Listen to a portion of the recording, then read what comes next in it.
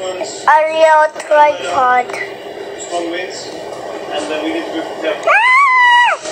One lifeboat alone weighs almost 20 tons. If it comes loose on the high seas, it would be life-threatening for the crew. But even smaller loose parts are a safety problem, especially if they fall off the